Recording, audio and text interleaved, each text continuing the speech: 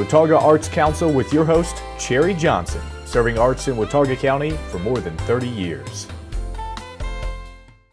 Hi, I'm Cherry Johnson with Watauga County Arts Council, and the cold is around us, and the winter weather is coming up on top of us, and that means it's time for a fun and wonderful event called Tellabration. This is Tammy Sanabria, and Tammy is a storyteller of some renown in this area. And uh, we were, the Arts Council has sponsored Tellabration for many, many, many years. And Doyle Pace has been on our board of directors and has been the person that has organized it for several years now. And uh, Doyle and his wife moved to um, a retirement uh, center away from the mountains. And so Doyle and I were kind of like, well, I just don't know how that's going to be able to happen with Doyle gone, and nobody else was really prepared to step into the shoes. So we kind of just canceled it and uh, told the folks at Mast General Store that we just couldn't do it this year and so forth. And then I got a phone call, and it was Tammy. And Tammy was like, but we want to do Tellabration. Yes. so you jumped in there and pulled it all together. Yes, yes. We have a great lineup. It's going to be wonderful. Um, we have Orville Hicks, Glenn Bolick, Charlotte Ross, me, Tammy Sanabria, and we're introducing uh, Ravonda Wolf. And maybe Doyle might came, come in Might for a be able to story. come back. I hope he does. I, I will. I will be surprised if he doesn't show up. I'll, I think he will. Doyle's a sweetie, and we, we will miss him in the high country, but he's not gone forever. No, he's because wintering. He's, that's exactly it. They'll just be back and forth. Yes. So that means you're going to have to step into his shoes in this area now. Yes. yes. Now, so you got together with these storytellers. Who, who, was this just something you thought up, or did you talk to some of them and say, let's get it together? How did this come about? I just decided to do it, and so I called them up, and, and I really didn't expect positive things from all of them, and all of them like, yeah, sure. And Glenn said, no, I need to make sure I go to church, and so um, make it at two o'clock so I can come up then. I'm like, all right. That So- makes good sense. So yeah. we're going to go over the details. It is on, on November the 24th, Fourth. and that is a Sunday. It is. Mm-hmm. And at 2 o'clock at the Blowing Rock Realty. Yep. And there will, it will be a ticketed event because we're having to pay for some expenses. Right. So that's going to be $5 a person. Very cheap. Yes. And let's talk about what Tellabration is. Okay. About um, 14 years ago, a fellow started Tellabration and he said, um, I want everybody in my community in my state to do stories at one time. Well, that took off and it became a national thing. Now it's an international thing. So the, the weekend before Thanksgiving every year, you have Friday, Saturday, and Sunday of storytelling. And it's all over the world. And so when you're telling stories, it's sort of neat because you know that somebody else, probably in a different language, is telling a story too. So we're all telling stories, and it just it's a it's a celebration of storytelling. It really is. It is a worldwide celebration. It of- is. And storytelling is a worldwide tradition. It's how history's been carried down Exactly. for years. And it's, it's a, a form of entertainment for, for most people for many, many generations. And, Mm-hmm. uh, you know, it, it's also a whole lot more than that. It, it, it shares the spirit of a community. It you does. Know, so. It does. And speaking of that, you you are local, Mm-hmm. and you are a true Appalachian storyteller. Yes. You know, and you learned it how? How did you learn storytelling? I think for my grandpa Pate, his his grandmother was Indian, and she told him a lot of stories that he passed on down to us. Mm-hmm.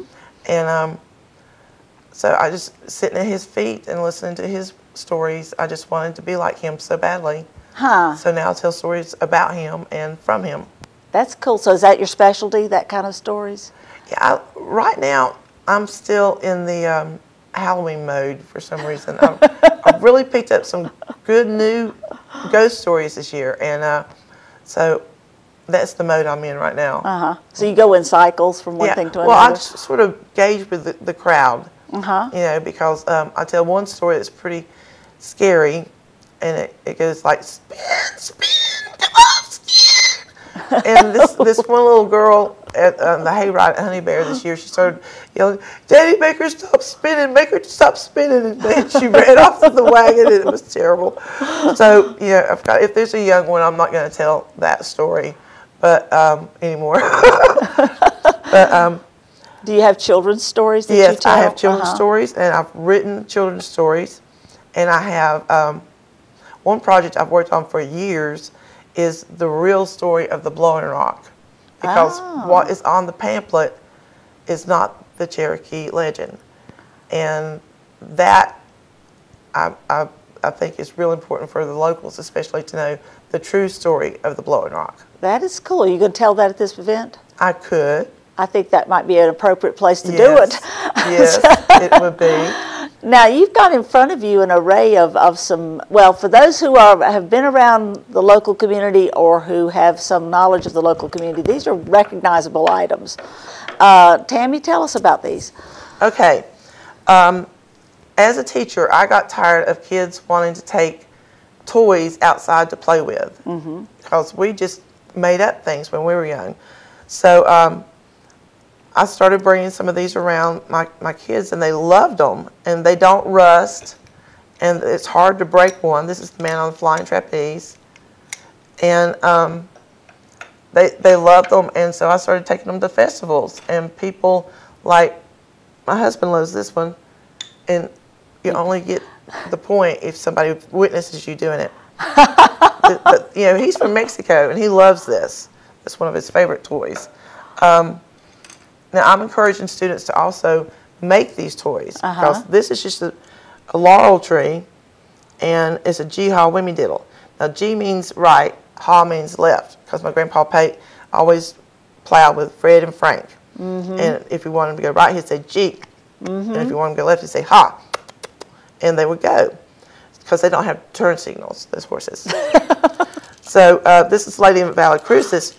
She told her family, she said, this is a lie detector. And she had a house full of kids, seven or eight of them. And this is true. And she would get this out if she came home and something was broke or something. She'd say, "Did you do this?" And she'd put it right in front of them.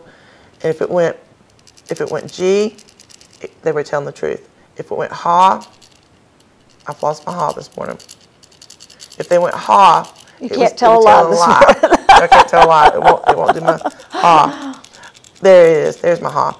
And so they had no idea she was in control of this. Uh huh. So she told me it was a lie detector. And a couple of years ago, this lady was going through, the same lady was grown up, it was going through a Mast General store with her husband. And she said, Oh, look, honey, they've got lie detectors. And he went, Oh my gosh, you really believe that? and she was pregnant at the time. So she got these, and she's using these on her children now as lie detectors. That's It's of funny. my- it's just so much fun. Now, this is Spin the Wheel, uh, Spin the Moon. And my grandmother said this is the only time she ever got her hair cut in her life was when her little brother got one of these in her hair and it had to be cut out. Um, people used to make these with big buttons, especially from coats and stuff. Uh huh. And it's something really easy to make with your kids and it lasts forever.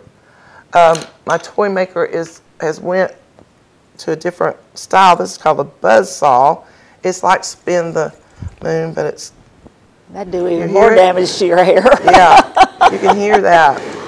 wow. Yeah, that's fun. Um, of course, there's Jacob's ladder, which always mesmerizes me.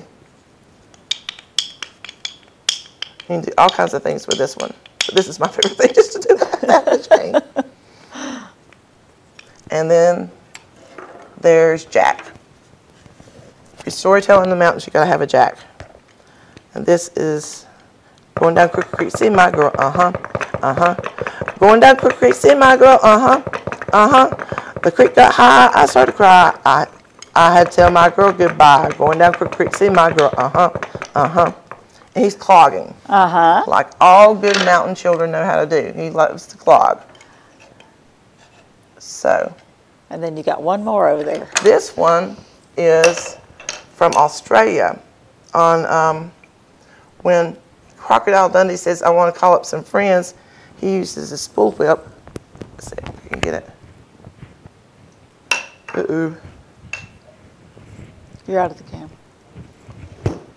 Whoops. She's going to kill somebody.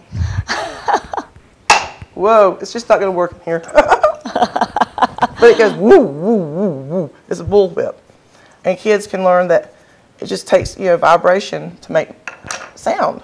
Uh huh. So um, Then I have the cannular phones. Remember the can phones we used to talk on? Oh, yes, mm-hmm. We'd take a string and just hello, hello. tin cans. Mhm. Yes.